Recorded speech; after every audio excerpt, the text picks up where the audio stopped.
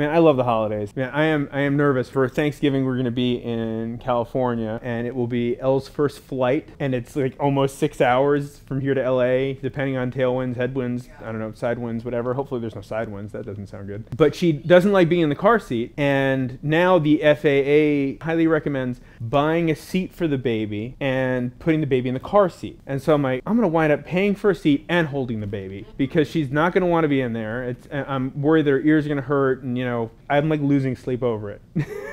it's worrying me. And I also think about all the flights that I've taken in the past 30 some years and how many times there's been a crying baby and how many times I get annoyed, but then I think to myself, one day that will be you. So don't curse at them or hit them with your shoe. And I never did. And I'm hoping that people aren't dicks. It, doesn't work that way, Katie. I can't, I, I don't know where the planes come from. I don't know when they're going to leave. We're getting picked up at 5 o'clock in the morning, okay? I'll tell you. It's going to be an early flight. It's, it's actually a great flight because we leave here at 7.30, we get in LA at 9.30, and you have the whole friggin' day. You're exhausted, but you have the whole friggin' day. What were we doing?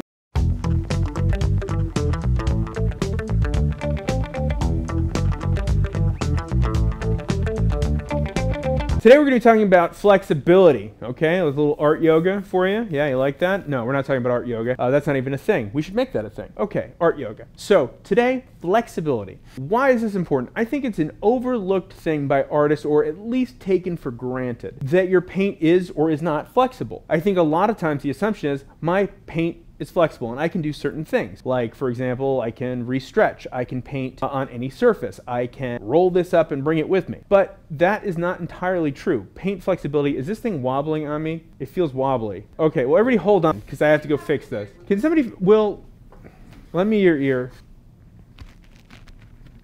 Just crunch down on it, man. Crunch. You don't have to say crunch. Onomatopoeias. Onomatopoeias.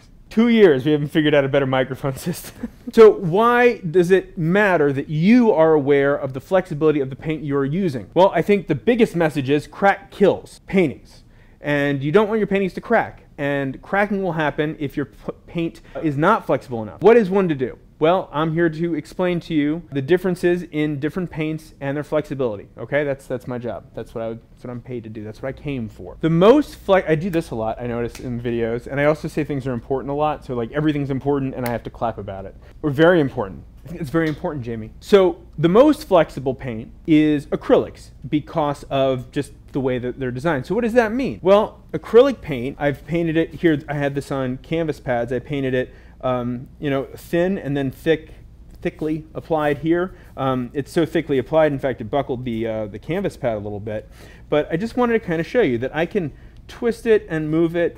Um, you know, I talked to our resident artist, Amy Gardner Dean, um, host of our uh, Jerry's Live uh, on Facebook, and you know, I said, well, with acrylics, you can you can roll it up, and she goes, yeah, you can, you know, and and this is the most flexible. But if you can avoid it, you might want to avoid it. There's only so much flex. And also, when you roll up canvas, uh, you might not even be conscientious if everything's dry. It could get stuck on the back. Um, there are things that can go on. But if you're going to restretch or tighten your canvas, uh, acrylics are very versatile. They can be painted on just about any surface uh, that you can think of, um, except for the surface of water, I guess. They would just thin. The next flexible paint is oil paint, okay? But oil paint isn't as straightforward as acrylic, okay? Acrylic is made with acrylic polymer. Oil paints are made with various oils, okay? There's more than one oil that goes into the way oil paints are made. Different vendors use different paints. And I'm gonna go through why. The most flexible oil is going to be linseed oil, okay? Linseed oil is the most flexible oil.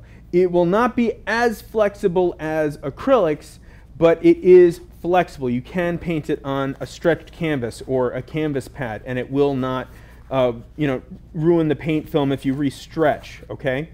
Well, you might be asking me, okay, well, if if linseed oil is the most flexible, why don't they just use linseed oil across the board? Well, it's a little more complicated than that because we're dealing with organic materials, all right? So linseed oil is going to be, and you can see here, has a little yellowish tint to it, okay? This is, this is clarified, so this has been cleaned. But this is linseed oil as well. This is um, linseed stand oil. This is not clarified. So in its natural state, it yellows. And it has a tendency to yellow over time. So if you're using colors like, you know, ultramarine blue or something, it might not matter. But for your light colors, especially whites, you don't want a yellowing oil paint. So they go to other things like they go to um, walnut oil, poppy oil, safflower oil. Uh, these oils are much paler in comparison, even to this clarified one. You seeing that? Um, but they are more brittle. They are not as flexible. Okay, so it's, it's just something that I want to make sure you understand. Now, along with this, though, however, um, is you know I, I've talked about Chelsea Classical Studio a lot, and I, and I you know I, I really just love their product. Just to show you, this is the walnut oil. Okay, this is the pale oil.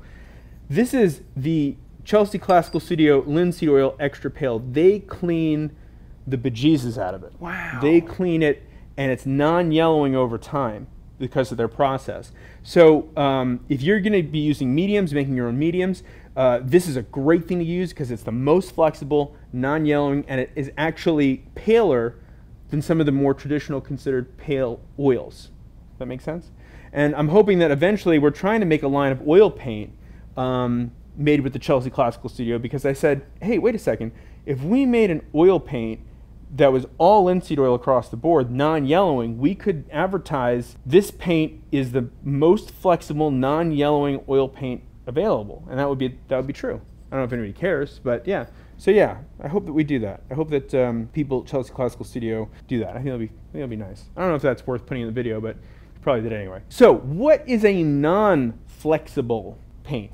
Okay, uh, we've talked about oils and acrylics. I want to move on to an acryl gouache. Now, gouache and acryl gouache are not considered to be flexible. Acryl gouache has a little bit more wiggle room, for lack of a better word, uh, because there is a, a little acrylic polymer in it, okay?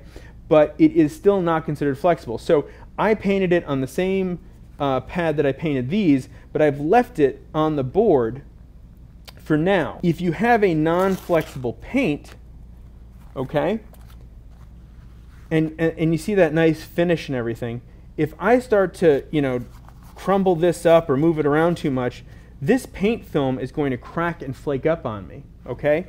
And that is because it is not designed to be flexible, so it has to be painted on uh, more rugged surfaces. Now, if you are aware of that already, you might have decided, well, I'm just not going to paint with acrylic gouache because why bother if I, if I can use acrylics on everything, why acrylic gouache?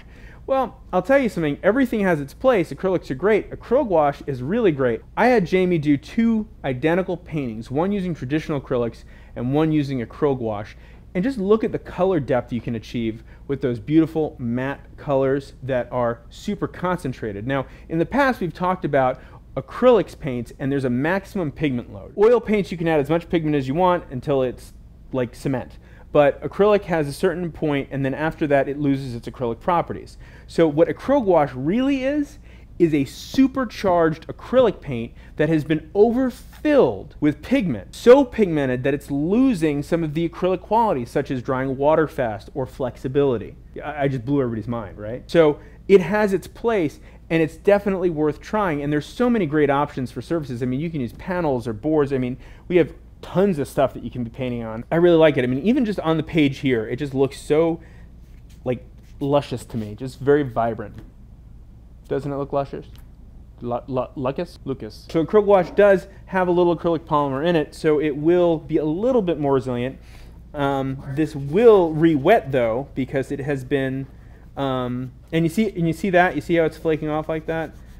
That is, um, that is the pigment and you can see underneath it looks a lot more like the acrylics because you know you're getting rid of that excess pigment but um, the the paint film is is not waterproof so if I you know were to try to get that you see that that stays put with the acrylic gouache it's only it's only like, like water resistant. So what are some other things that are flexible and non-flexible? Flexible. Colored pencil is considered flexible, and oil pastel is considered flexible. What are some other things that are not considered flexible, just so that we can cover a lot of our bases? Encaustic paints are not considered flexible, and so, uh, soft pastels are not considered flexible, which means if you use them on a surface that is not stiff, you can damage your paint film. Okay, that's that's the bottom line with that. As we wrap up our Artist Problem Series 2017, I want to wish everybody a very happy holidays. Uh, we'll be back Uh, next year with uh, new content, I've got a lot of great ideas. I got to tell you, they just keep coming to me. They just keep coming. Uh, I have to do something about it, but yeah. Uh, but we'll be back uh, next year. Enjoy your holidays. In the meantime, I hope you eat, I hope you drink, and I hope you follow me on Instagram at Mike Not Jerry, uh, where maybe we'll look at some pictures of, of my trip to California. What do you think? See how she does on the plane? Wanna, if you want to know what happens, yeah, follow on Instagram. I'll, I'll post this is her on the plane. She'll either look like it'll be like a comedy or tragedy mask, you know, uh, one way or the other. I hope we survive. Might not. Anyway, and there's art stuff on there too, so that's good. Anyway, uh, thanks so much. Happy New Year. Happy Hanukkah for those of you that celebrate, and we will see you next year. And is there anything else I forgot, Will? Oh, what I forgot to mention. While I'm gone, uh, at some point we'll be releasing a, a best of video uh, where we're going to take some of our favorite moments from 2017 and put them in one long blooperish kind of thing, which will hopefully you guys will have fun with. Because apparently I say a lot of dumb. You're just sitting there nodding. yep. Everyone's nodding. Yeah. So the camera's not nodding. Okay. Um, so we'll see you then.